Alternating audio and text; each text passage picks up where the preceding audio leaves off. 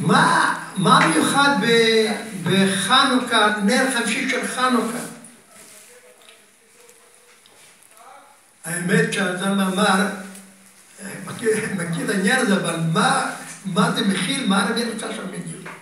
אז הוא אמר להם, שזה יום שהחושך מתגבר בלי סוף, ותפקידנו כיהודים להאיר את החושך. זאת אומרת, כאן נתן לו תמונה, ולא רק, אמר שם משהו נוסף, שאחר נראה מה ההמשך שלו. והוא אמר לו, כמו בוורשה, ככה בלונדון. כמו בוורשה, החתונה הייתה בוורשה, ככה בלונדון. זה המילים שהוא אמר. אבל מה עכשיו הנקודה הייתה? שתפקידו של יהודי להאיר את החושך. ומחר ביום החמישי של חנוכה התגברות החושך בין ארוך, כמו שהיה קודם, כי זה כך מעבר למחצית, אז מובן שתפקידו של העיר יהודי זה להאיר את החושך הזה. זה המילים שם. יפה. כעבור עשרים שנה,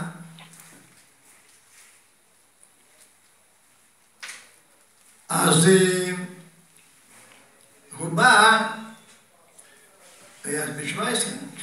67, ודאגו לו להתחתק.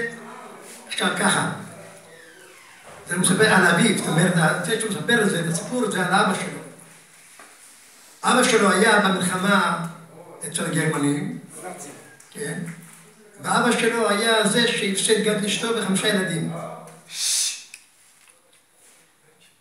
כשיצא מהמלחמה, הוא היה תשוש לגמרי. ממש בלי כוחות. כשהגיע לאמריקה, אז חיכו, הייתה לו משפחה שם, אחת בשם קרפל, אחת, ככה זכו לשם הזה, והוא דאג לכל דבר, כי זה אדם שאיבד אבא שלו בגיל שמונה, אחר כך עבר את המלחמה, מי שזוכר, 1929 זה קרוב ל-1939, עשר שנים אחרי שהיה בן 27, הבחור עצמו כבר התחילה מלחמה, הוא כבר היה נשוי, וכל היה, אז מובן שהוא חטף אותה והפסיד את המשפחה שלו, וכשאחרי מלחמה שהוא בדק, הוא לא מצא אף אחד, הוא חיפש וחיפש והיה מיואש וגם מדוכא. השם עזר שהגיע לאמריקה, ו... שם דאגו לו שיתחתן מחדש. כדי להתחתן, אמר לו קרבל הזה, הבן משפחה שלו, בוא נתברך אצל הרבי.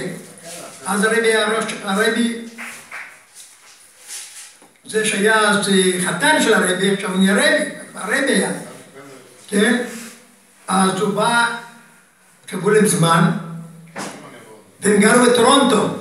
קראו בטורונטו, בקנדה, והוא טלפן לו, קרברץ היה, היה, היה אדם מאוד אמיד, מאוד אמיד, ולכן עזר לו גם כן, להסתדר מהכל, לגרימבד הזה.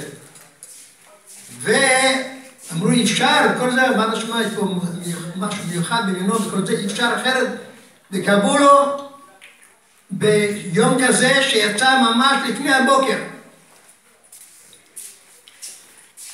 הגיעו ליחידות, אחרי מאמצים גדולים קיבלו את האישור ובאו ליחידות. ואז הרבי פותח במילים שאם הוא יודע מה זה חנוכה, יום החמישי של חנוכה, מה עניינו? הוא קיבל הלם, למה זה היה אז ילד בן 17, שהוא משמע את ה... 20 שנה, והרבי חוזר אותם מילים בדיוק מה שאמר לו שם. היה בהלם, כי הוא זוכר והכל, כהמשך למה שדיבר אז. אבל מה אמר בסוף? הסביר מה זה חנוכה? שחנוכה, יום חמישי, הוא כזה יום שמעבר לחצי, של ה... לא, ארבע ימים, ארבע ימים זה חצי, וחמישה זה כבר מראה התוקף של החושך, גם תוקף של האור, מתפקידו של יהודי לראי את החושך. ואין הבדל בין טורונטו לבין לונדון. פעם שעברה אמר בין ברכה ללונדון, ועכשיו אמר בין טורונטו ולונדון. תשמעו את הסיפור, תמיד טוב טוב בנקודה. הרבי גם הבטיח לו, כשהוא היה במצב שמצוקתי מאוד, כשהוא היה אחרי, אחרי שהוא הפסיד אשתו והכל, הוא התחתן מחדש, אבל הוא הפסיד, ולא נשאר זכר במשפחה שלו. אז הוא הסתדר איך שלא, אחרי שהוא התחתן, הסתדר די טוב. ומי שהיה קרוב אליו מאוד, זה החסידי סאטמר. כי הוא לא היה, הוא לא היה בחב"ד, הוא היה משפחה חרדית שנתפס להיות קוראים לסאטמר. תראו מה שקרה פה. ו... אז גם הרבי הבטיח לו, היה בתור נשוי, בתור אחד שהתחתן, בתור חתן, שאתה תתחתן, לפני שאני גומר את הסיפור, הרבי הבטיח לו, מחר הוא עבר כל האיסורים, הכל, הרבי הבטיח לו אריכות ימים, וגם יזכה לראות את נכדו מתחתן. על גרימבל הזה, זה שעברתי עם כל האיסורים האלה. זה הרבי הבטיח לו. בא... עברו עוד עשרים שנה, והבן שלו, שמספר את הסיפור הזה, נהיה חתן. נהיה חתן. זאת אומרת, הבן של גרינבלט, יש לו בן בן עשרים, אבא שלו בן בן עשרים, ורוצה לחתן אותו. עכשיו,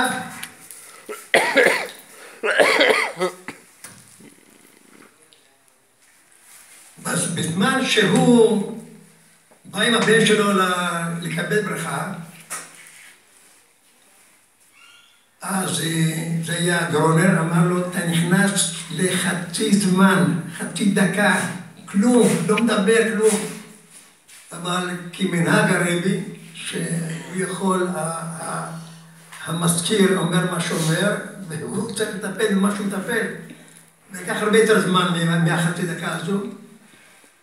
ואחרי שהוא בברכות ברבי, ברבי הבטיח לו מה שהבטיח לו, אז הוא אומר, לרבי יש לי עוד משהו לשאול, שאלה חשובה מאוד.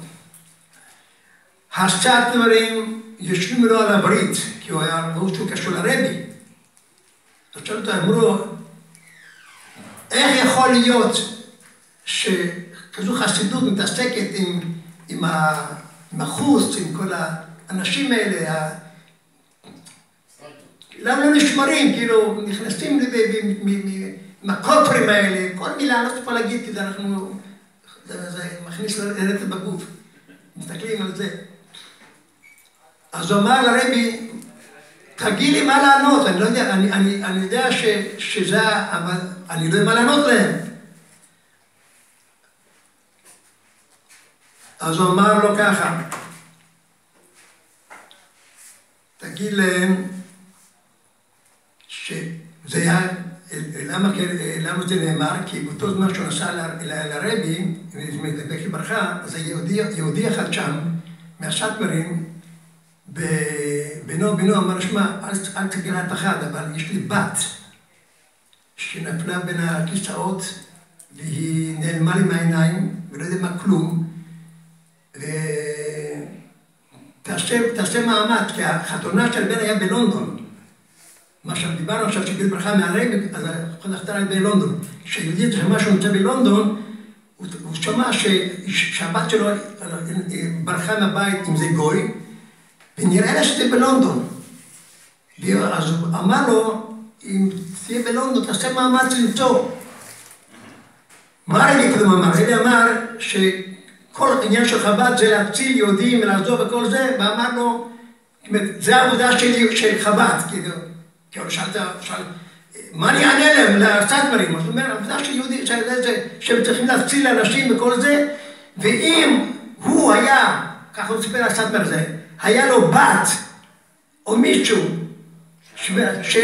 שהיה עושה את זה, אז היה כל מאמץ להשיג אותו. זאת אומרת, אנחנו מתייחס לכולם כמו, כמו כופרים, אבל אם היה לך מישהו בני המשפחה שלך שנופל, עכשיו להקל כופר, היית עושה כל מאמץ להציל את העניין האישי שלך, זה לא... מבצרך. זה מה שקרה בדיוק. זה בסדר. ומה קרה?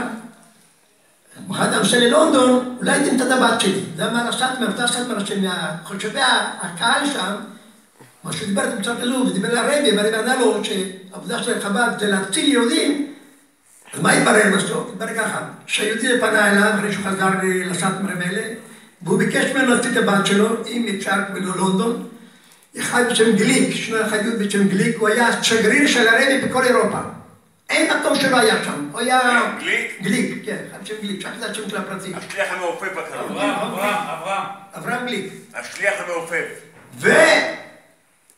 וגרימל פנה אליו, שיש בעיה כזו כזו, שזה אולי אפשר לעשות מאמץ, משהו, למצוא. אחרי כמה ימים, הוא מטלפן לו, תבוא אליי הביתה. בא הביתה, ישבה שם בחורה, דלק הנר החמישי חנוכה. של חנוכה. דלק הנר, זאת אומרת, מה הרגע אמר? שוורצ'ה כמו לונדון, טורונטו כמו לונדון, כן? הכל לונדון. וכשהגיע היום הזה, ש... של הלונדון הזה, אז התברר שכל הנקודה הזו, שיבוא איזה יום אחד, ש... שאותו, אותה חוג ששונא את חב"ד, היא הצילה את הבת שלו, אותו חוג. ואז נהיה שקט מה מה ראו כאן? לא. ה- הקהילה שלהם, נעזר בחב"ד, שתחזור. אברהם יצחק. אברהם יצחק קראו לו. אברהם, זיכרונו לברכה. היום הבן לא, אברהם צבי. לא, לא, אני מדבר על הגליק, הרב גליק. אה. קראו לו אברהם יצחק גליק. כן. לגריבל קראו- לבן שלו קראו אברהם צבי, ולאבא קראו מוישה משהו.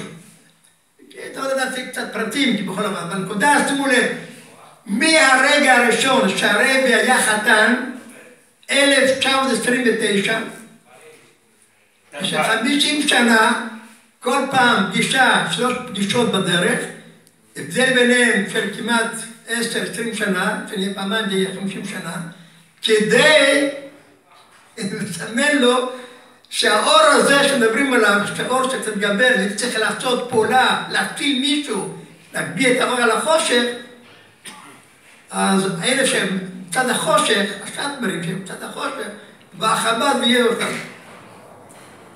ולא צריך הרבה הסברים, ברגע שדבר הזה קרה, וזה התפרסם בכל הסטמרים, אז במובן שהם הבינו שהח- שהחב"דים הם לא אנשים ששותים וודקה כל הזמן, ולא רוקדים כל הזמן, אלא גם עושים דברים למען, היהדות, ובמובן שגם הם זכו לזה. זה סיפור שלפני חמישים, קרה נר חמישי של חנוכה, את זה? שמעת את זה פעם?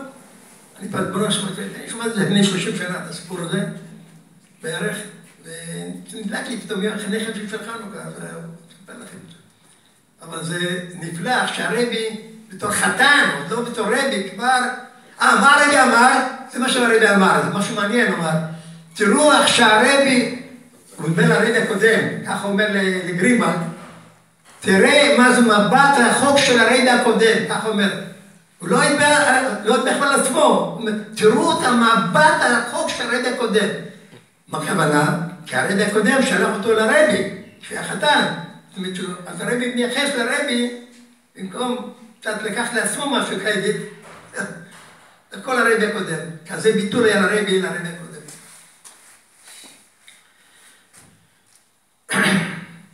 טוב, לחיים.